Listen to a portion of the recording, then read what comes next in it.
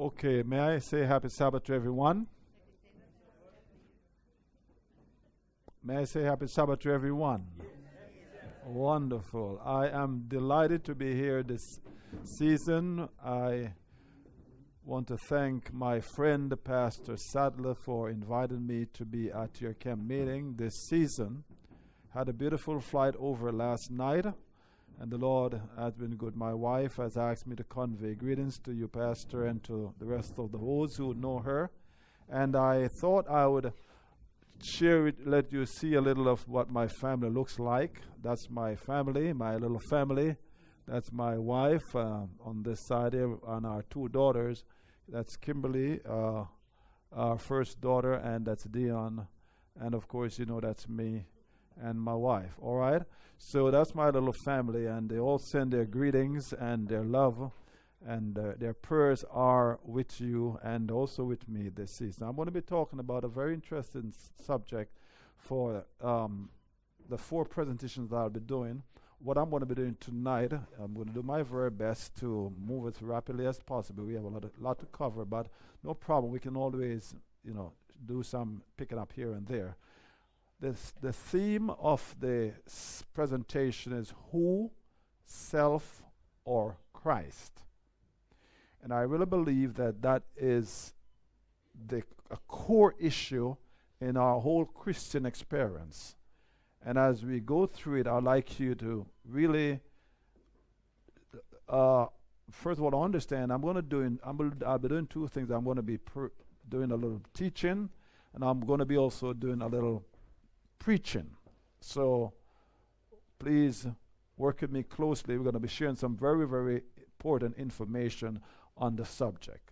Let's just kneel and pray again before we begin.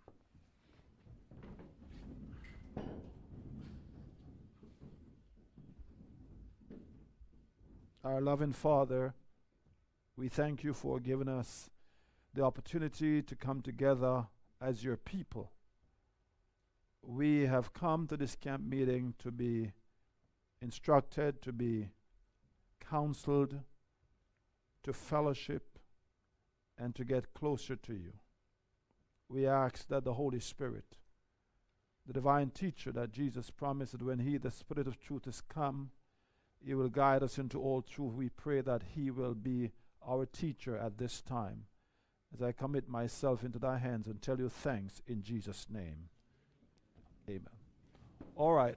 Now, I want to begin by saying that the great challenge that faces every Christian is to constantly choose either self or Christ as master of his or her life. And I believe you'll all agree with me on that. We have every day a choice to make, every single day. Either we're going to serve Jesus, we're going to choose him as our Lord and Master, or we're going to choose ourselves and please ourselves. This is our basic, basic uh, Christian doctrine that you know, and I'm going to put it within a framework so that you can understand exactly what the Lord is saying to each one of us. All right. Now, the, the basic philosophy which governs the world is selfishness, which is displayed in self recognition, self exaltation, and self esteem. Now, what I'm going to be addressing is the last one, this, this guy here called self esteem. Because for many of us who have gone through school, whatever, whether it be college or university or just whatever, we have come across this, this um, word self esteem and we have adopted it even into our teachings and in our philosophies without really understanding what we're dealing with. So, what I'm going to be dealing with, not only tonight, but for the three or four presentations I'll be making, is to really unpack this, this word and to open your understanding to what it really means and how it, it, it is negatively affecting our spiritual growth and is destroying the very fabric of our relationship with each other and our relationship with Jesus Christ. So I'd like you to walk with me closely. Now, this philosophy is promoted, talking about self esteem, is promoted in various ways. For example, uh, I'm sure you all have heard of Frank Sinatra. Now, Frank Sinatra sang in the year 1969 and said, I did it my way. All right? Now, he did, he, he did but this guy also, Elvis Presley, uh, he borrowed from Sinatra's song in his quest um, to change the stream of thinking of Americans and those around the world when he said, I did it my way. That my way issue is what's causing a lot of problems for us. Now, to, to, to go after the young people so that they can understand that they are also a part of this my way situation. This guy Nathaniel sung this pop song. His song was, Do what you want to do, be what you want to be.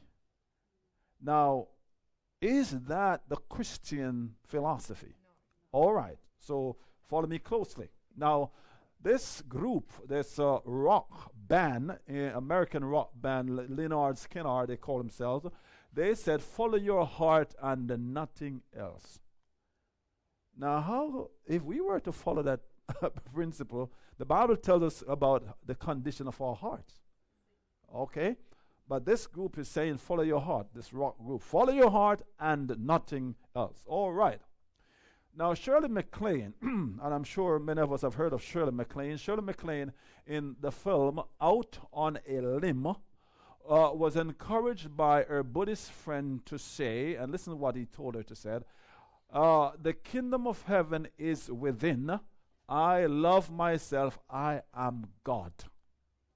She was reluctant to say it, so her Buddhist friend David said to her, See, how low you think of yourself. You can't even say the words.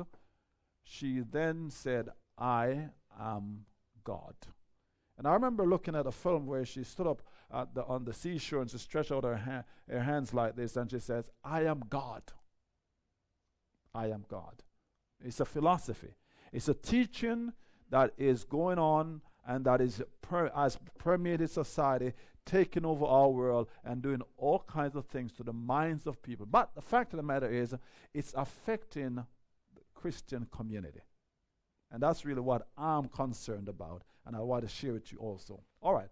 Now, Universalist Unitarianism, uh, uh, one of a philosophy that also is in the world, it says every, every one man chooses what he wants to believe.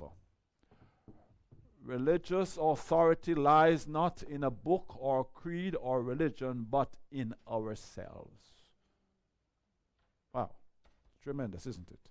All right. Let's go a little further. We all have heard of secular humanism. And I have an entire presentation on this. I'm, I'm, not sure if we'll be able to, because I have quite a few um, in this series. But if we get onto it, I will broaden out on secular humanism. But just to give you an idea of what we're talking about, secular humanism is man centered philosophy that excludes God. And by the way, what's happening, like in America and uh, many of these um, cities around the world, is that they, be, they have been taken over by secular humanism completely. All right? So, secular humanism says there is no belief in a supreme being. Primary belief everything resol- sorry, revolves around man rather than God. And this secular humanism is embedded, it has at its foundation this concept of self esteem. All right. Aleister Crowley, I'm sure we heard of him. All right. He is, as we know, an occultist, um, directed by the, uh, while he was alive, he was directed by Satan himself. His famous quote is, "Do what thou wilt, shall be the whole of the law." Now, these guys that I've already um, mentioned, they got that statement from this guy.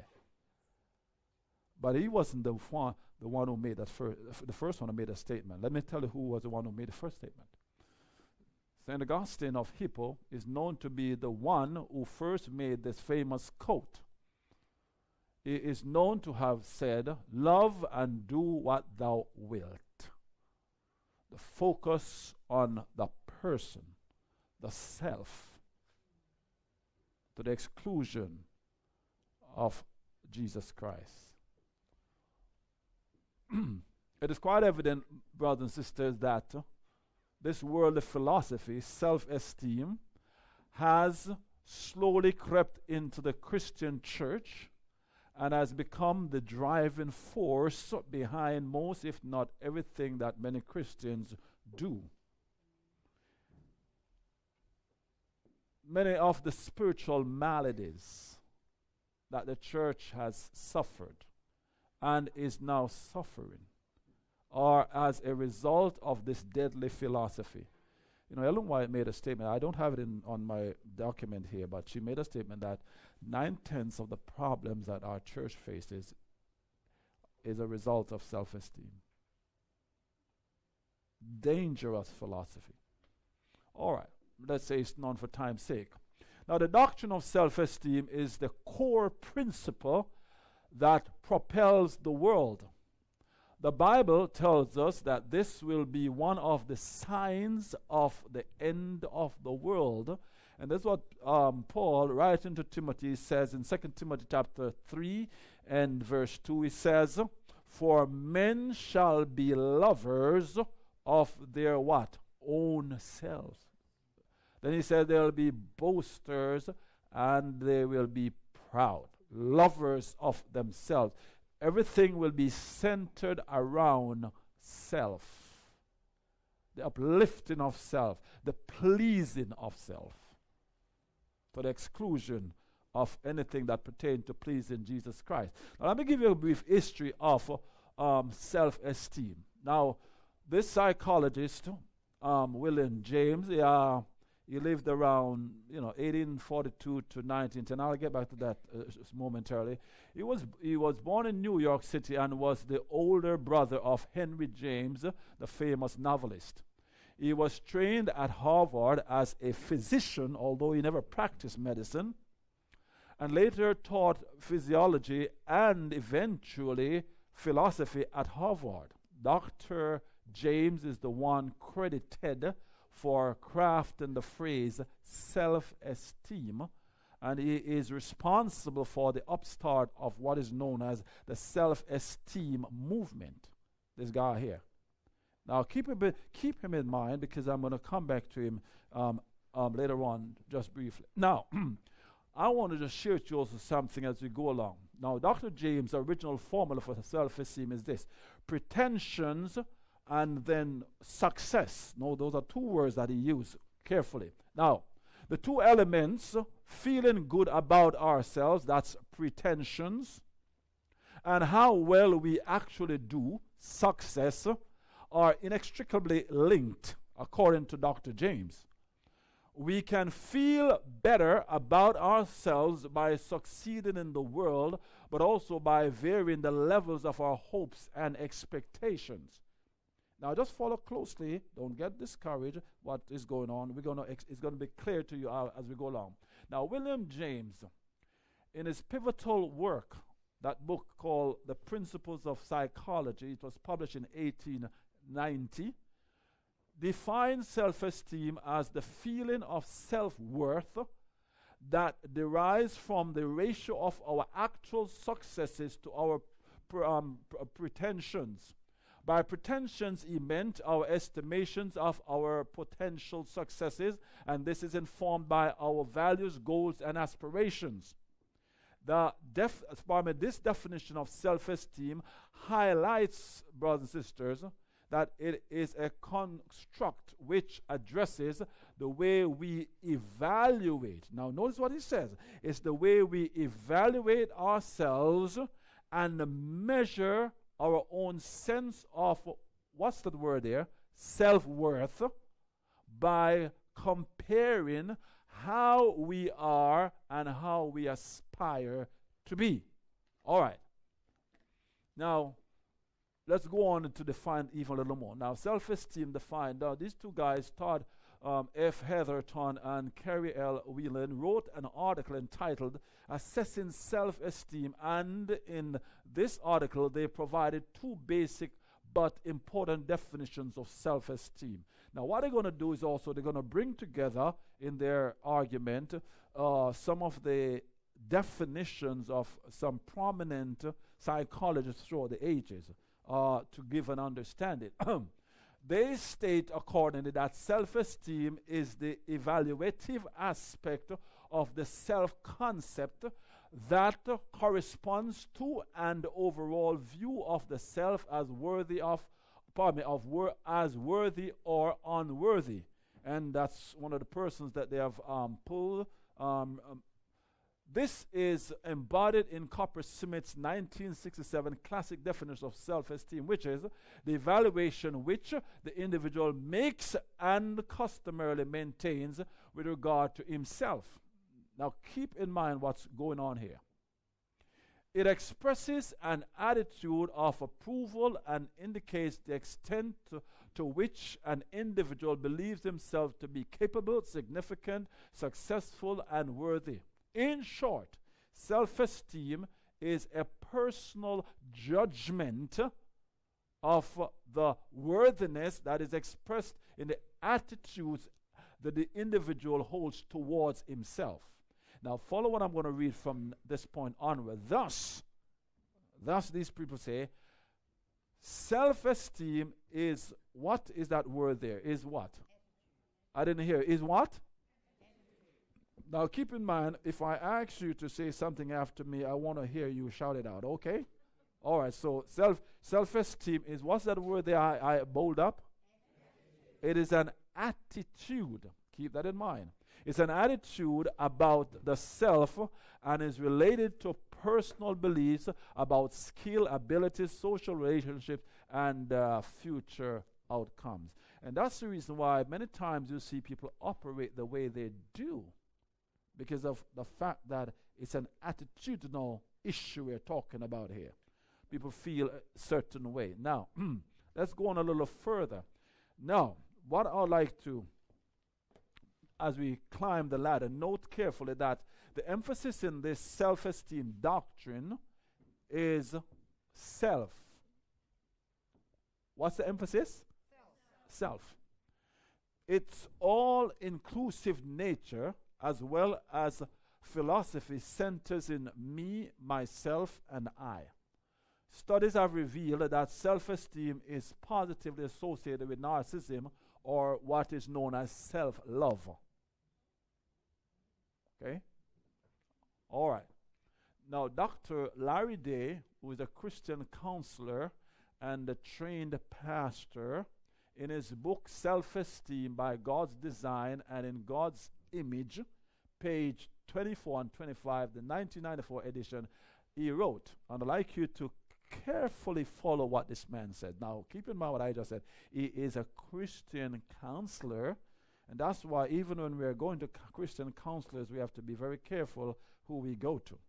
All right? The fact that the label Christian is there doesn't necessarily mean the person is connected to God. All right. He says, people talk about self esteem in a lot of different ways. And listen to the words that he's going to use as he breaks this thing down. He says words like self image. You have heard that before. Am I right? Am I right? Okay. Self image, self concept, self identity, self worth. Ah, this is the one we have heard this oftentimes self worth self, what's that? Respect and self esteem have been used interchangeably. Keep that's what, what he says. Yet each can carry a distinct meaning. When I use the word self esteem, he says, I think of a core felt belief that is formed in our hearts about the worth of our personhood. All right. Dr. Day states to help us appreciate the richness of the word esteem, let's look at the list of synonyms that he um, used. Follow me. To value, he says. That's the word esteem means to value, to prize, to hold dear, to honor, to respect, to think highly of, to love. He used these as synonyms, but let me attach something to each one of them. To value, to value self, to prize, to hold dear, to honor, to respect, to think highly, and to love. Now, now keep in mind, some just looking at these as faith value may not be bad. But let's go on. All right. Synonyms continue. To appreciate, to cherish, to treasure, to admire, to like, to be fond of, to care for someone or something. Then listen, so we're going with the same principle to appreciate self, to cherish self, to treasure self, to admire self, admire self, to like self. How many of you admire yourself? How many of you treasure yourself? Mm, yeah. Spends a good half an hour in the, in the morning looking at yourself and smiling in the mirror. yes. And to be fond of self. Now, interestingly enough, these things have caused people to believe that it is okay for us to magnify ourselves. And so we have a wrong concept of what it really means. And some people say that self esteem and self respect are synonymous. Now, I'm going to break it down for you to let you know it is not so. Now, let's go a little further this guy says it very plain, and I like to share it with you what he says about self esteem. He says, self esteem can also be considered as, and this is what he says, carnal self love, which is when a man loves himself above God, in opposition to God, with a contempt of God. When our thoughts, affections, desires centers only in our own fleshly interests and rifle God of his honor to make a present of it to ourselves. Thus, the natural self love in itself good becomes criminal by the excess when it would be superior and not subordinate to God. Tremendous, that's very tremendous saying it plainly. Very saying it plainly what this thing is all about. And I'm sure many of us would, would have thought that, well, you know, my professor told me that I must have self esteem. And our youngsters in our school, whether it be uh, primary or, or, or secondary or whatever, I, well, I don't know what they call it over here. They, uh, teachers will tell the children, you need to have, you, you need to have self-esteem. And so, what, what we have come to believe is that self esteem and self respect mean the same thing. All right. Now, the doctrine of self esteem is a teaching which is totally opposite to the teachings of Jesus Christ. Now, I think, uh, even though we're working with time, I, I, just want to quickly stop and say this to, to us. A lot of what I'm going to say, you're not going to be comfortable with it. Believe me. Because it's going to go against a lot of what we believe or, or how we feel. Now, my intention is not even to hurt anyone at all or to make people feel bad. I'm just presenting some truths that are very significant for us to understand as Christians so that we can know how to relate ourselves to Jesus Christ, our Lord. All right. That's basically Mike. All right. Now, two main areas of self esteem one, high or positive self esteem, and low or negative self esteem. And if you have done anything about psychology, you'd have had to touch some of these things. All right, let's um, quickly look at them. Let's look at some basic characteristics of high self esteem individuals. Now, as I go through these things, please keep them in mind because we're going to meet them again in another context. All right. Number one, basic characteristics of high self esteem individuals. This is what the, the psychologists they say. One, people are considered to be um, psychologically happy and healthy. Two, they feel good about themselves. They are able to cope effectively with challenges and negative feedback. Three, they live in a social world in which they believe that people value and respect them. Four, dismiss or they dismiss negative feedbacks as unreliable or biased. Number five, trivialize failures or attribute them to external causes. Simply put, they don't want to take responsibility. All right. Number six, the less personal responsibility for harmful um, actions and develop an inaccurate self concept in their growth and change. Number seven, become angry and aggressive towards those who threaten their ego. Eight, engage in downward social comparisons, a process that underlies prejudice and discrimination. Number nine, the motivation to protect feelings of self worth can also lead to a rigid, closed mindset that cannot tolerate alternative viewpoints, known as need for cognitive closure. Okay, number 10, sometimes engage in dysfunctional behavior. And number 11, inflated ego is easily pricked and incessantly need for social approval often leads to relationship problems. So people oftentimes with high self-esteem, they have marital problems as well and other serious issues. Now, basic uh, characters of low self-esteem individuals. Number one, individuals believed to be psychologically dis- um, distressed and uh, perhaps even depressed. Number two, they see the world through a more negative viewpoint. And number three, their, their general dislike for themselves color their perceptions of everything around them. Now, you may be wondering, why am I telling you all of this? As we go along, you will see, and in this message and in the, the ones coming up. Very, very important. Now, low self esteem is as diabolical as high people with high self esteem.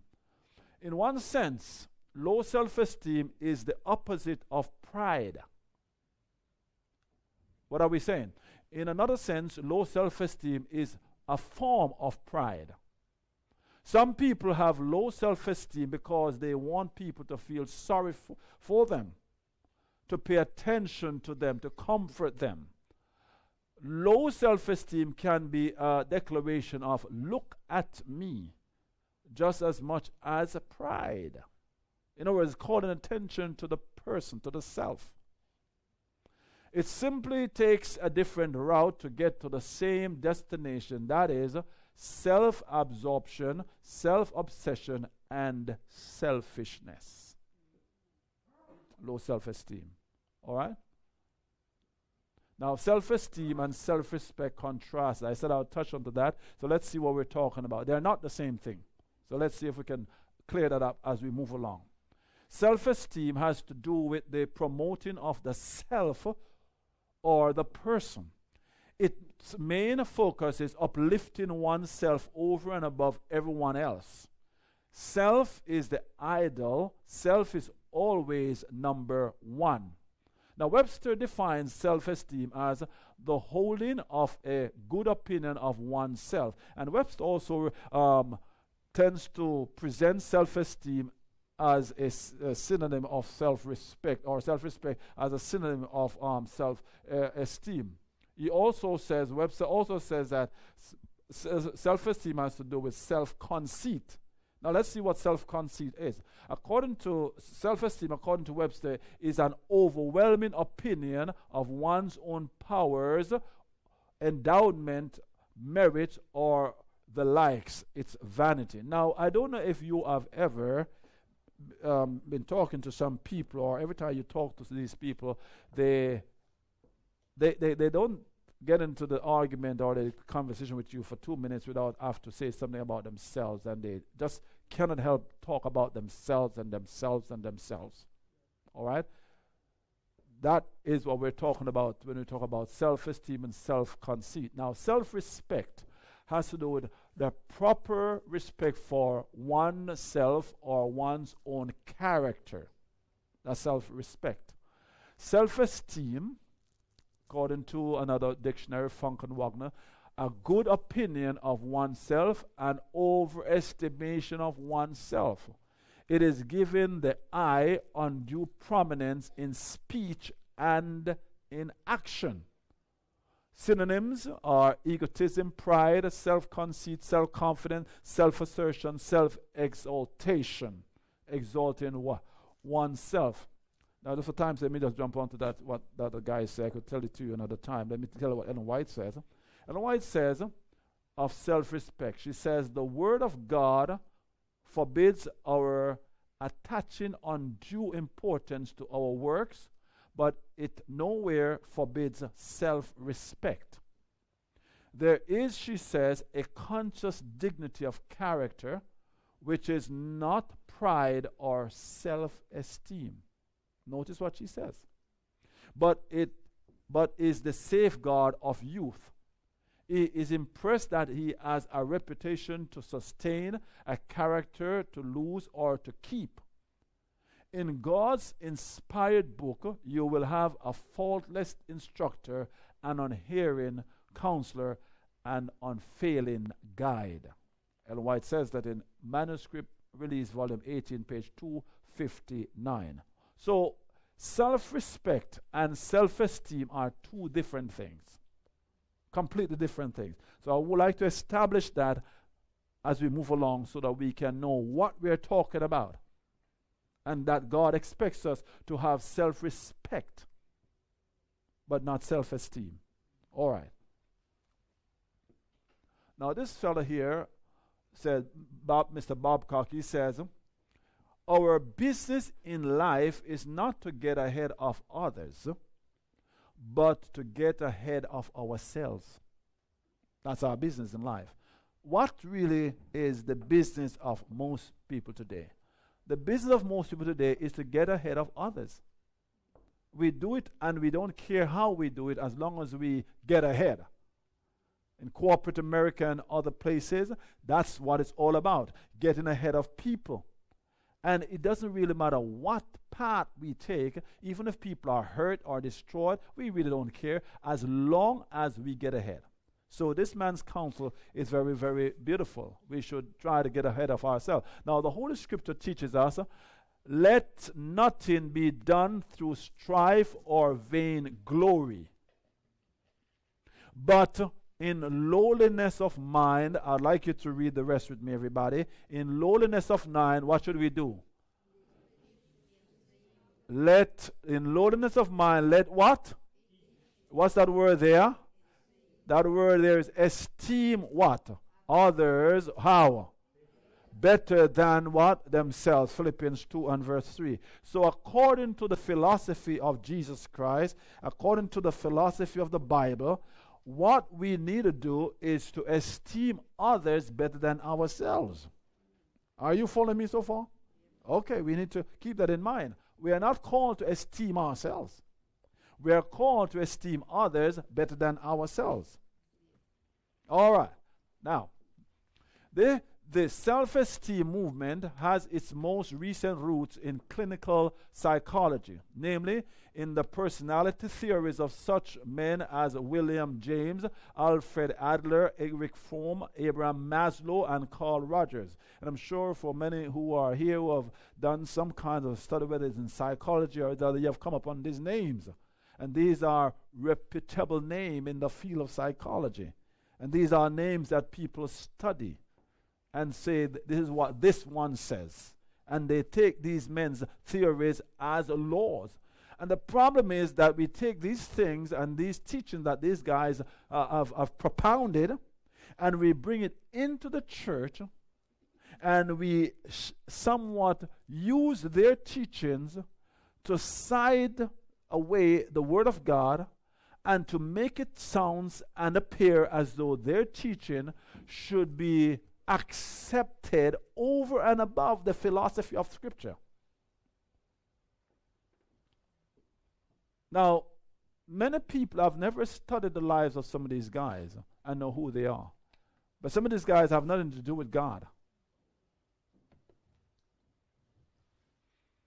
Now, it became further popularized by their many followers.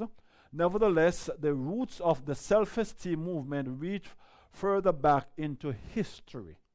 So, what I'm going to do now is I want you, I'm going to take you on a quick journey before I sit down of the history, the true history of self esteem, where it all started, and then you will begin to understand, which of course you know the true origin of self esteem. Isaiah chapter 14, verse 12 to 14 tells us, How art thou fallen from heaven, O Lucifer, son of the morning? How art thou cut down to the ground, which didst weaken the nations? For thou hast said in thine heart, I will ascend into heaven. I will exalt my throne above the stars of God. I will sit also upon the mount of the congregation in the side of the north. I will ascend above the heights of the cloud. I will be like what? The Most High. I will be like the Most High. Ezekiel chapter 28, verse 14 uh, to, to 15 and then verse 17 says, Thou art the anointed cherub that covereth, and I have set thee so. Thou wast upon the holy mountain of God. Thou hast walked up and down in the midst of the stones of fire. Thou wast perfect in thy ways from the day that thou wast created, till iniquity was found in thee. Thine heart was lifted up because of thy beauty. God is explaining the whole situation that happened to Lucifer. Thine heart was lifted up because of thy beauty. Thou hast corrupted thy wisdom by reason of thy brightness. I will cast thee to the ground, God said. I will lay thee before kings that they may behold thee. as the beginning, the true beginning. Now, walk with me closely as I lay out to you how Ellen White puts it that this thing really happened in heaven. Follow me closely. Ellen White tells us how this evil was developed. How is it that a being that was so holy, a being that was so righteous, a being that was so beautiful, ended up becoming the devil? evil. She says, little by little, Lucifer came to indulge what? I just heard about two or three people saying that to me. She says, little by little, Lucifer came to indulge. What did he came to indulge? The desire for what? That's it. Self exaltation has to do with self esteem. All right? He indulged that desire. The scripture says, Thine heart was lifted up because of thy beauty. Thou hast corrupted thy wisdom by reason of thy brightness. Thou hast said in thine heart, or in thy mind, God is saying, Lucifer said, I will exalt my throne above the stars of God. I will be like the Most High. Now that's a creature talking. Though all his glory, Ellen White says, was from God, this mighty angel came to regard it as pertaining to what?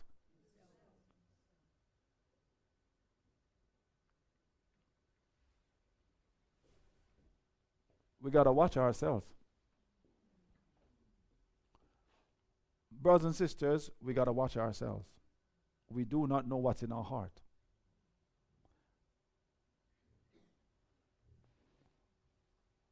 let's continue. She says, not content, probably content with his position. You know, um, I don't know about some of you, but I can tell you, I've been a pastor for about 30 years of my life. and having had to deal with church members over the years, I I really am still under, trying to understand why church positions create so many problems in churches. People hate each other because of church positions. White says, not content with his position, though honored above the heavenly host. Of all the angels that were in heaven, he was the highest one. But he still wasn't happy. He was the guardian of God's throne. But he still was not happy. He wanted something because the moment he started cherishing the spirit of self exaltation, something began to happen to his mind.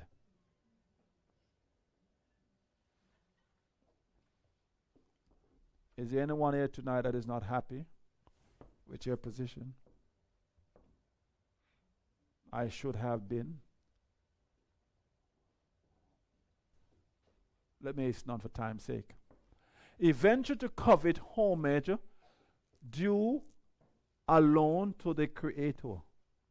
Instead of seeking to make God supreme in the affections and allegiance of all created beings, it was his endeavor to secure their service and loyalty to himself. Notice how often that self is coming up. And coveting the glory which, sorry, with which the infinite Father had invested his Son, this Prince of Angels aspired to power that was the prerogative of Christ alone coveted. That's Patriarchs and Prophet, page 35. Let's hear, uh, let me ask you this. What was Lucifer's real subject which caused the rebellion in heaven? Have you, given, have you ever given thought to that? What is his real, what is the real subject? Listen to what Ellen White says. Ellen White says, he left the immediate presence of the Father dissatisfied and filled with envy against Jesus Christ. Can you imagine that? The one who made him. Concealing his real purposes, he assembled the angelic host. He introduced his subject, which was what? Mm-hmm.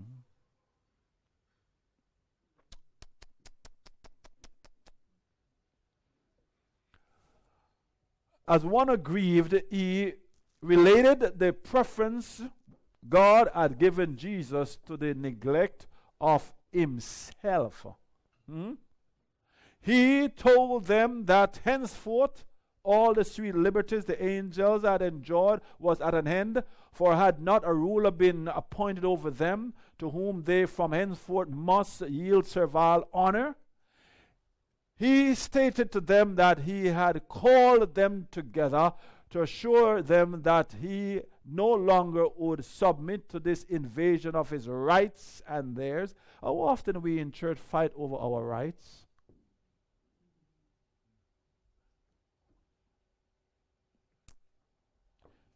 You know, a statement is in my mind that Ellen White says that Jesus never contended for his rights. How often do we contend for our rights, even our homes? Sometimes our, our, our, our, our homes are unhappy because somebody is always contending for the rights.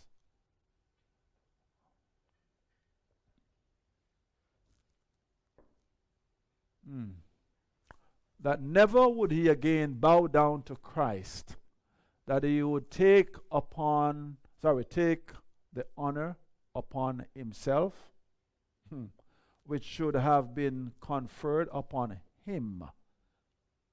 Didn't get it freely, so he's going to do it by force. And would be the commander of all who would submit to follow him and obey his voice.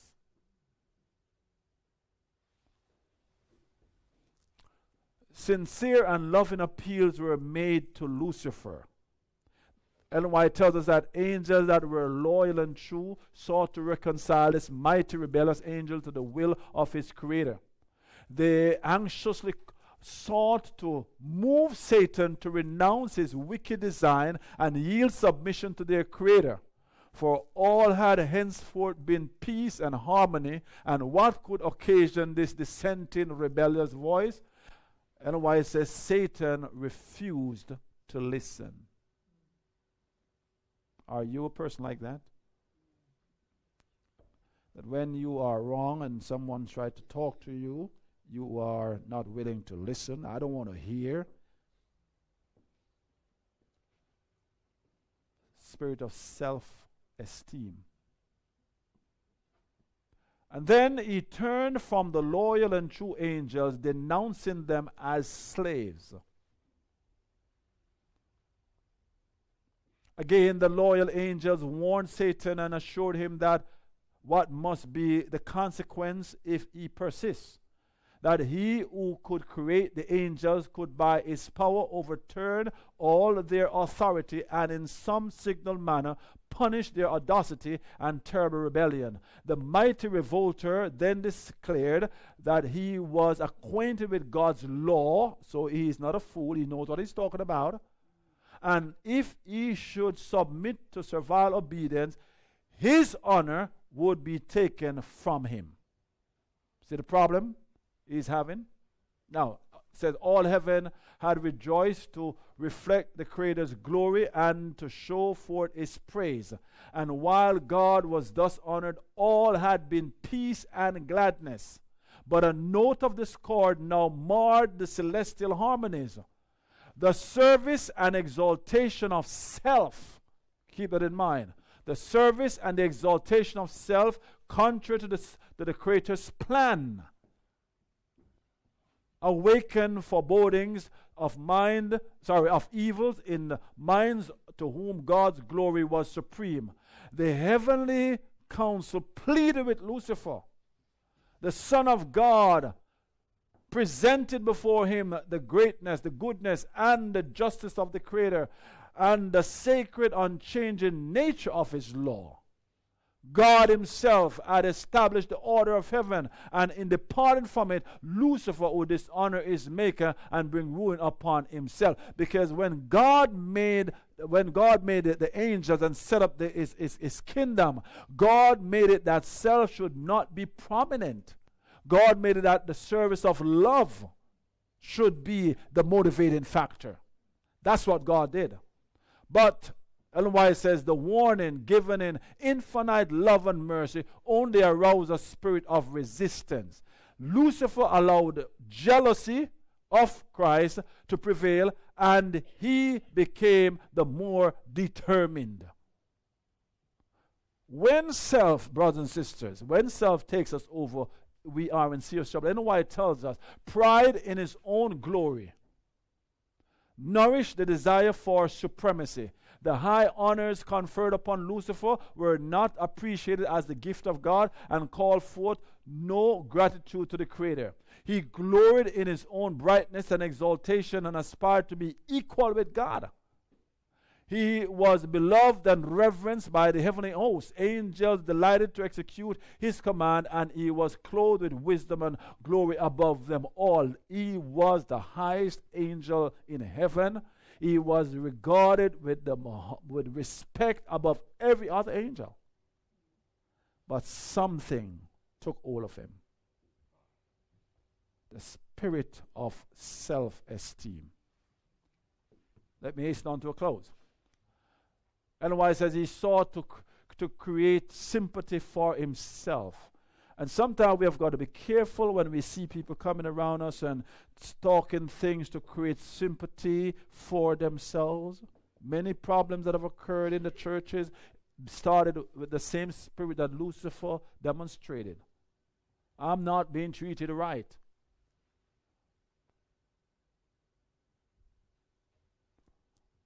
He sought to create sympathy for himself by representing that God had dealt unjustly with him in bestowing supreme honor upon Christ. He claimed that in aspiring to greater power and honor, he was not aiming at self exaltation. That's what he's saying. The very same thing that he's going after, but was seeking to secure liberty for all the inhabitants of heaven that by this means they might attain to a higher state of existence. So, in other words, even though, as we have seen before, that his subject was himself, yet when he is talking, according to what White says, as he addressed the angels, he's letting them know that I'm not, I'm not about, it's not about me. It's not about me. It's about all of you. You are being treated like a slave and you are not being treated right, and God's not treating you right, and I'm here as the only voice talking about the issue. When in truth and in fact, Lucifer knew from the very get go that the issue was about himself. Ellen White says, God in his great mercy bore long with Lucifer. He was not immediately disregarded, this, um, degraded from his exalted station when he first indulged the spirit of discontent nor e- even when he began to present his false claims before the loyal angels. Notice what Ellen White says his false claims. Long was he retained in heaven. Again and again, he was offered pardon on condition of repentance and submission. But, what's that word there? But what? But what? Now, let me ask you do you cherish pride? You know, many problems could be solved in our homes, in our personal lives, in our marriage lives, in the church. Many problems that have become a mountain could have been solved easily if that word did not exist. Pride. Pride. Dangerous word. But pride forbade him to submit. I'm not going to submit. He persistently defended his own course, maintained that he had no need for repentance, and fully committed himself in the great controversy against his Maker. The spirit of self esteem, the spirit to want to be first. The seer of Patmos records the awful consequence of Lucifer's self esteem attitude. John was shown a panoramic view by God, as God even showed it to Ellen White. And John saw what happened after God could bear no longer with Lucifer in heaven. John said, as he wrote in Revelation chapter 12, 7 to 9, and there was war in heaven. War.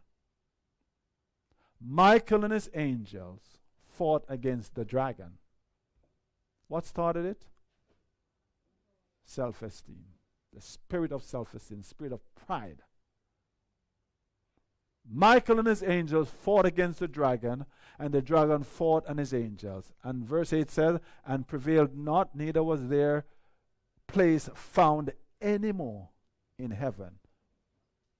You know, a colleague of mine many years ago said to me, that spirit of pride or spirit of arrogance, it never dies. It's a spirit that it may lie dormant for a while, but it never dies. And that's why Lucifer cannot go back to heaven, and he will not be saved. And there was, and the, pardon verse 9 says, And the great dragon was cast out, that old serpent called the devil and Satan, which deceiveth the whole world. He was cast out into the earth, and his angels were cast out with him. Brothers and sisters, let me just say this to you before we close. If you, if you cherish self esteem, because I'm just giving you an introduction to what we're going to talk about tonight. If you cherish self esteem, you can be absolutely sure that heaven will not be your home. And I'm going to prove that to you before this camp meeting is over. Self esteem is a devil sin. Yes, I know what Dr. So and so said to you at college or university. You should have self esteem. It's time for us to discard that word. It is not of God. That's what caused our problem on this earth today. Finally, self esteem causes human beings to cast their will against the will of God. which ultimately allows us to be at war with our Maker. So, my question to you is Are you at war with your Maker, who is also your Savior? In your heart. I'm not just talking about mouth talk. I know we say a lot of things, but I'm talking about in your heart tonight, each one of us here tonight, in your heart, are you at war with your Maker? Who is your Savior? Are you at war? Who is on the throne of your heart? Is it Christ or is it you? There's a question that we will have to answer sooner or later. And I hope that as we deal with these, this topic, this camp meeting, that we will answer that question well to the glory of God, to the saving of our souls. Amen. Let us pray.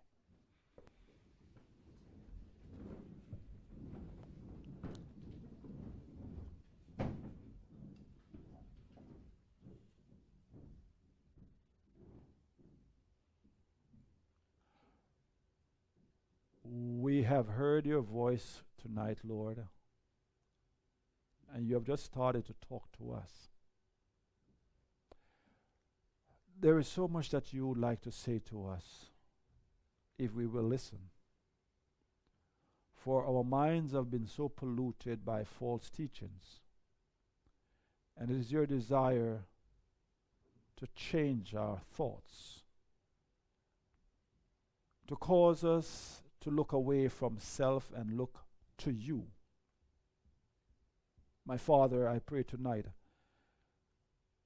that your words will not return to you void, but it will accomplish that which you purpose. I pray tonight that for each one of us who are naturally consumed with self and always have that desire to be acknowledged and to be glorified, to be esteemed. Help us, Lord, to die to self. Let us tonight, Lord, step away from the throne of our hearts and allow Jesus to take up his full residence there. That he would rule as Lord and Master of our lives that self will be forgotten. Give us, O Lord, the grace. Give to that lady, O Father, the willingness to submit to you.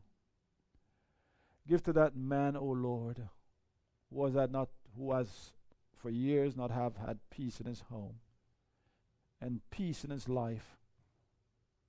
Make that surrender tonight let a young person understand that the way of happiness is to allow Jesus to be Lord of their life. Take charge, O oh God, of our lives and help us to walk as you lead us. Thank you for hearing our prayer. In Jesus' name. Amen.